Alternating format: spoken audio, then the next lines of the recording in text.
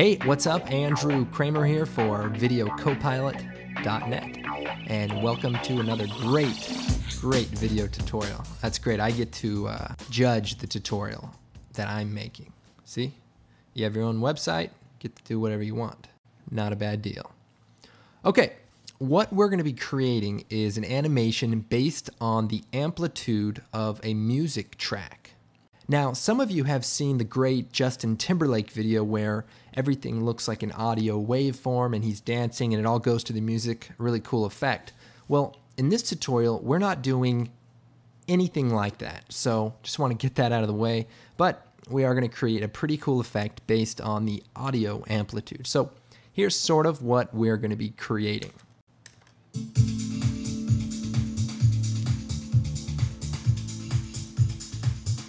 Okay, pretty cool. Um, real quick, I'm going to change my user interface color back to the default. I just thought it looked better with the darker interface. So, Okay, let's go ahead and get started. I'm going to create a new composition. And uh, I'll uh, just do a 720p, 24 frames per second, and we'll do 10 seconds long. Pretty good, and I'm going to choose OK. Now, we're going to be sort of learning a few things here. What a concept. So I'm going to try to take some time here in the beginning to kind of explain some expressions that we'll be using. So, okay, let's go and take our song fold.wave and drag that out to the timeline. And you can look at the waveform by hitting LL. And there it is. You can hit the period key and hear the audio. Pretty cool. And what we're going to do is extract the audio data. Now, to do that, what we're going to do is right click on the audio, choose Keyframe Assistant, convert audio to keyframes. And what that does is creates a null object that holds all of the data. So if you go to the effects control, you see three effects have been applied. And if we scroll down those effects, you can see there's keyframes. And if we kind of roll through that, you can see the numbers are moving. And if we select the parameter and turn on the uh, track view here, we can sort of see what that looks like. So now we have keyframes based on the audio amplitude of the song. Pretty cool. Except that's not what we're going to do just yet. So I'm going to delete that, change back to our track view. What I'm going to do is add an effect. So I'm going to choose Effect, Audio, uh, Bass and Treble. Now, Ideally, you want to do this in an outside program, but this should work okay. What I want to do is create two null objects one that has the bass and one that has the treble. So what I'm going to do is bring the treble down to negative 100 and the bass up to maybe 50. And then I'm going to create that audio keyframe. Now, the thing about the audio keyframe is it creates keyframes based on all of the audio in the composition. So if you have multiple audio tracks, make sure you shut them off because it will include them in the amplitude. So now we've brought this down a little bit and we're to right click and choose keyframe assistant, convert audio to keyframes. And then I'll hit return and we'll name this base. Well, bass. Then I'll go back to the track, turn the treble up to 50, and the bass down to negative 100. Then I'll right click, keyframe assistant, convert audio to keyframes. And we'll call this treble. Now, there's a lot of keyframe data for this particular track, so I'm going to delete the left and right channel and just leave the both channels. And again, I'm going to do that for the treble as well. Because some tracks have stereo and you want to use that. In this case, I'm just going to use the mixed version of that. Now, here's the great thing. Let's scrub through this. Now, you can see that these values are different because this is based on the bass. This is based on the treble. Now, I want to see what's going on with these keyframes.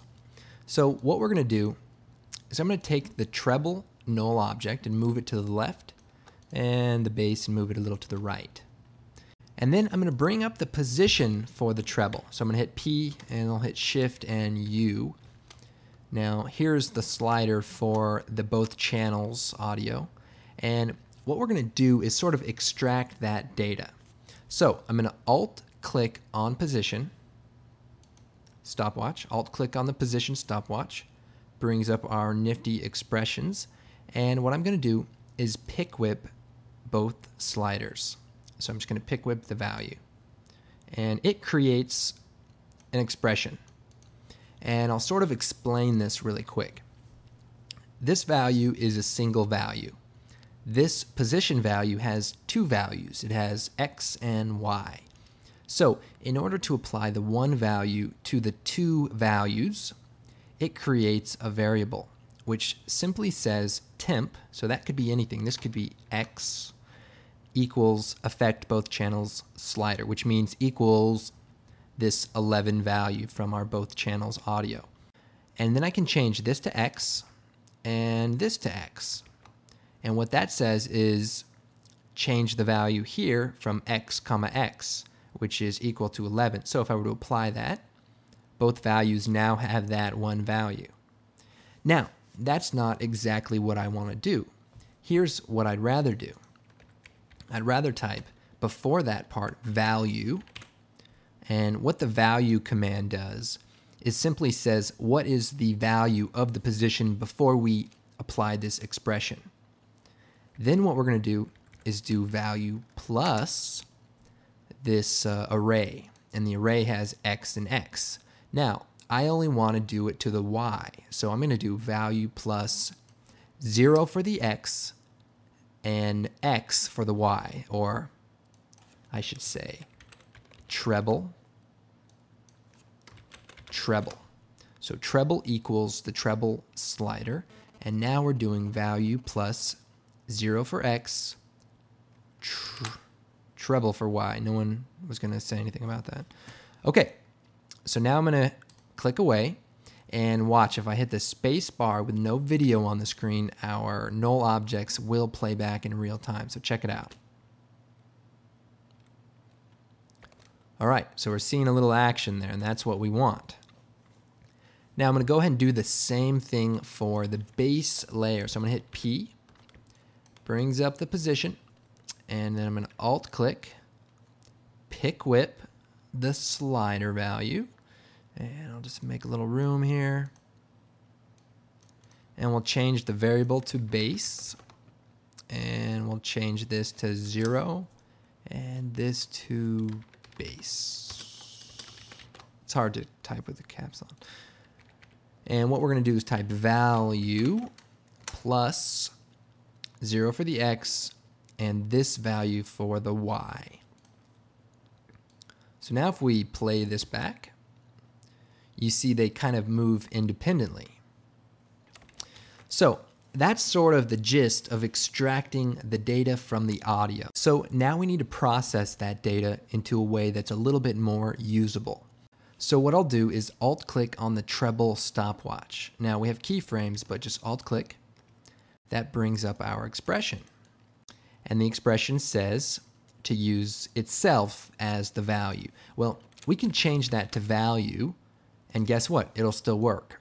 That is equivalent to what was there a moment ago. So I want to make that clear. Value is a way to say use the current value of the parameter. So we're going to use that. Now I'm going to show you a brand new expression that I don't think I've gone over. And here's what it is. Linear parentheses value comma 0 comma 100 comma, 0, comma, 500. End parentheses. So, don't be uh, scared by these numbers. I'm going to explain it to you and you're going to understand immediately. What this says is to linearly change the value from 0 to 100 to 0 to 500, which means if this value is 0, the resulting value will be 0. But if this value is 100, the resulting value is going to be 500. Now, these are obscure values that I just placed in here. We are going to actually use more accurate numbers. And to find those numbers, here's what we're going to do. I'm going to select the parameter, bring up the track view here, and we'll just kind of look in here closely. And what we can see is that the high value goes to about 25, and the lowest average height is probably right around here, right around 8 or 9. So 8 is the low value average, and 25 looks to be the high number. So we'll go out of the track view, we'll change it to 8, and the high number to, I'll just do 50 for the sake of uh, this expression. So now we shut the expression off. We see the value is 13, but with the expression on, the value is 63. Because remember, it's linearly taking the value from 8 to 50 and adjusting it to 0 to 500. So anything that's below 8, so if we kind of scroll through here, here's a value of 6, and if I turn the expression on, it's going to turn to 0 because it's below 8. Now, we can change that to 10. And what that's going to do is any value 10 and below is going to show up as 0. Now, if we go back into the track view, turn on the graph for the expression, here's what you see is the resulting animation. So we just have sort of extracted those high points. And we can also actually go in and adjust the expression more if we need to later. But the idea is to be able to remap the values to values that you want to use. When you extract the data from the audio, the values you get aren't always values that are going to be helpful for your animation. Glows, for example, require a lower value, and other effects require a higher value. So, you want to use this expression to create a more magnified result. So now if we look at the resulting animation here, check it out. Here's our treble. If I right click and we'll change that to blue, aqua, sorry. So now you can see it moves a lot more than this one. And again, we can change the value to start, say to, I don't know, 8.5 and watch that. Now, our bass needs the same thing. So what I'll do is bring up our bass. We'll type in that same expression, alt click on the stopwatch, linear value, comma 0, comma 100, comma 0, comma 500 in parentheses. Now, we want to find out what to make the start and end range. So we'll select the parameter, bring up the track view, and what do we have here? Low value average is about 9 or 10. High value is about 50, 60. So we'll change that to 10 and this to 60. So 10 to 60 is now going to be 0 to 500. So check it out.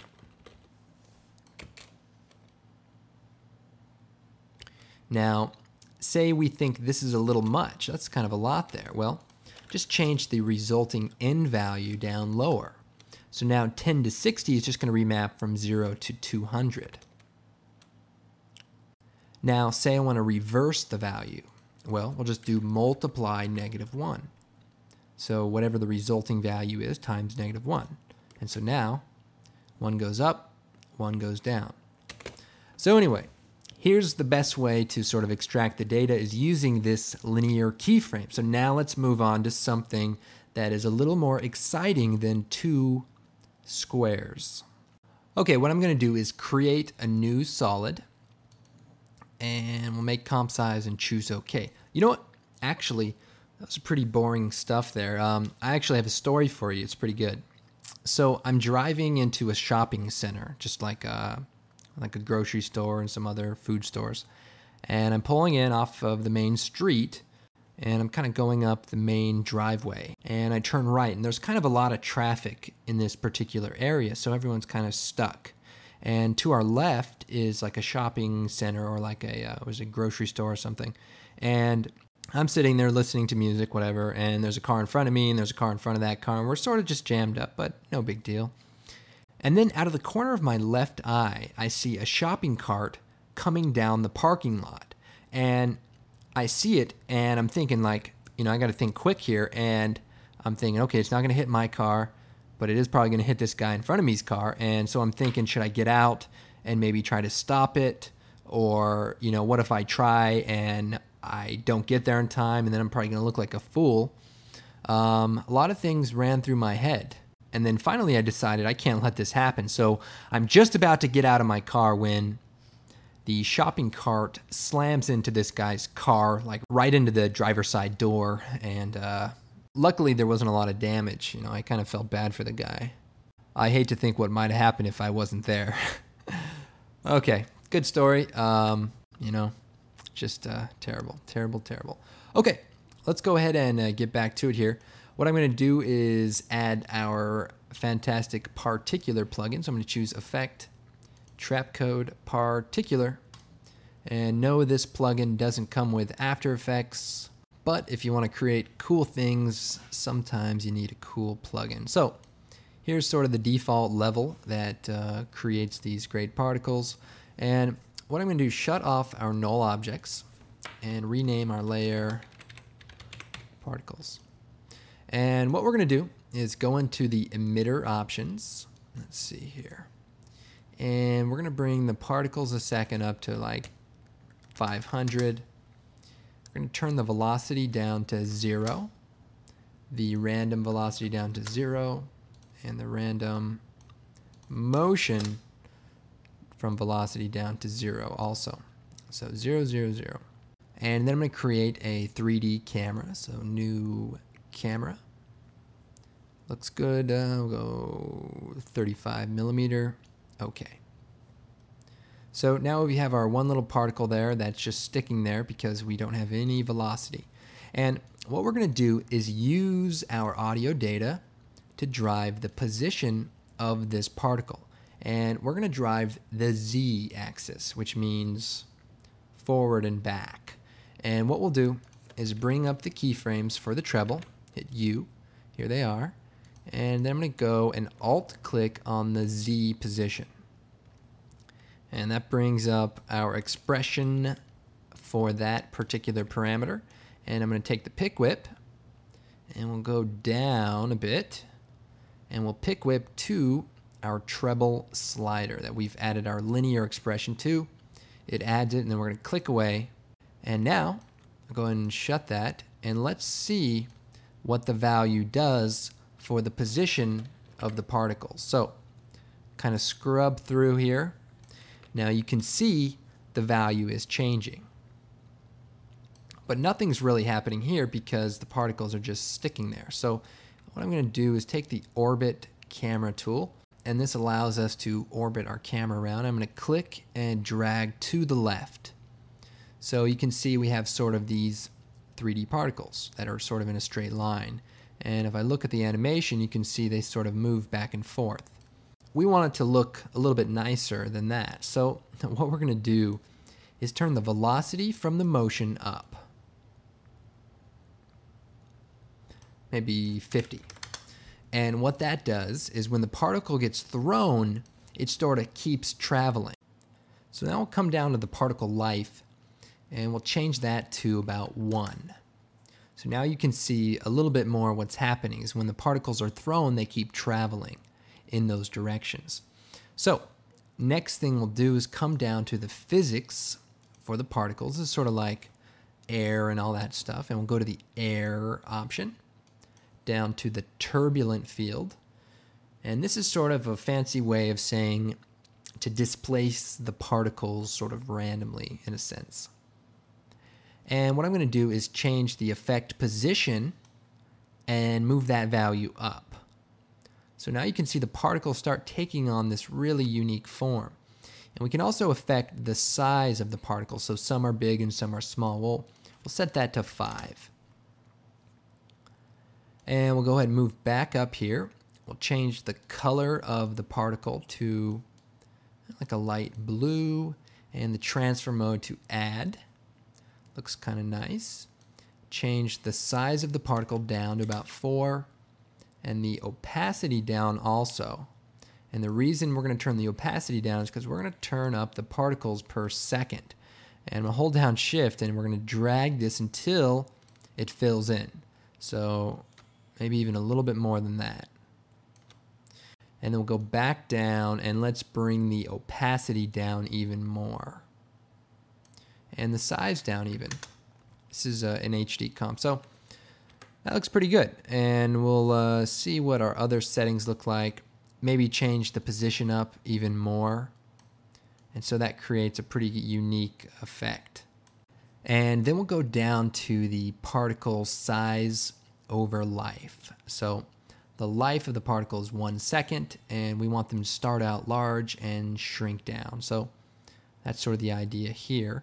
Now let's make the life a little bit longer, 1.5 maybe. And the size, I'll turn up just a little bit so we can see it a bit more.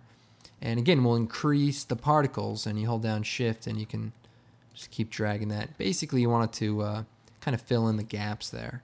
So, but essentially that's the idea right there. And now the other thing we can do is increase the velocity from motion. And what that's going to do is sort of let the particles flow together and it'll make it look like the particles are shooting out like energy with the beat. So I'll come back down. Maybe we'll make the effect position a little bit higher. And at any time, we can also go back into the treble and go into our expression and remap the value. Maybe we want it to be a bit stronger. So now if we change this to 800, the power of this is going to turn up, but then we'll also need to turn up the particles. But I think we'll go and just set it to 700 and then we'll go back to the particles, increase the particles, and again increase the opacity so that we can see it a little bit better. So let's try 10.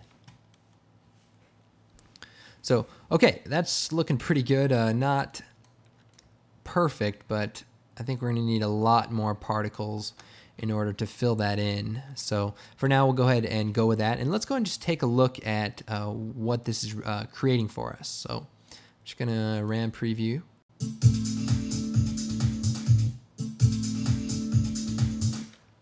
Okay, so you get the basic idea. It's sort of pushing the particles, and the particles are inheriting the velocity from the music. So a little different way of uh, kind of creating an animation. Now, we're going to do one more thing, and we're going to duplicate the particles that we've created. So that's the end of the particle part of the tutorial. Now we'll play with it a little more, but I'm going to duplicate this, edit, duplicate, and to this particle, system, we're going to just make a few changes. We're going to change the color to green. And we're going to change the expression. So I'll hit U. And we're going to change the expression to look at, instead of the treble layer, we're going to change the name of the layer to bass. So remember, these are exactly the same, so I'm just going to change the name. And so now it's going to make the animation based on the bass instead of the treble. Now, we want to sort of make this look a little bit more unique. So we'll go in here and we'll increase the effect position. And we'll change the octave. And that's sort of the frequency. And we'll change that to 2. So I'm going to change the scale to about 2. And so that kind of creates a little bit more random uh, effect here. So now if we sort of scrub through it, you can see that these both sort of, uh, you know, play off of each other. Okay, now from this frame, we can see the blue kind of goes into the right and the green goes into the left. And the reason for that is because we go to the bass channel, we've added an expression times negative one. We've reversed that expression. So now the particles are being thrown more in that direction. So as you can see, it sort of goes with the music and um, I created a, I created an example earlier, and then we have our early example from the beginning. Um, you know, you can choose any of these colors that you would like to use, and so I just kind of created a, I just kind of created a comp here. NBC Universal. Now, these titles are actually all in HD, and uh, I made one for Comedy Central also. And uh, they animate. Check it out.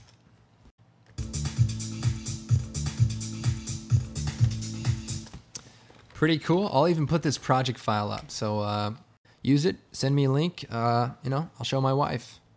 All right, I don't know how long this tutorial is, but it feels like it was a pretty long one. So anyway, I'm gonna cut this thing out right now, and uh, thanks for watching, and uh, I'll see you guys next time. Don't forget to check out the, uh, the webpage, the blog.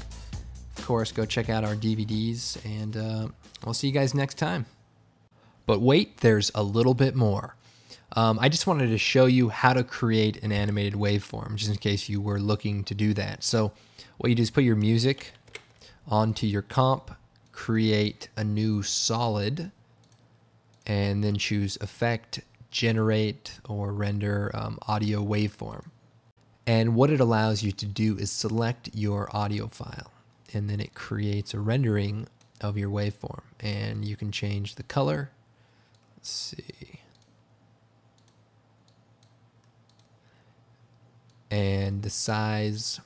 Um, just play with the settings, they make sense. Um, if you want a longer duration, just increase that value. You can increase the samples and the thickness and the height of the waveform. And it will render it out for you. You can also select some of these other options like digital audio here. It's for the more high-tech era and uh, some dots. There you go.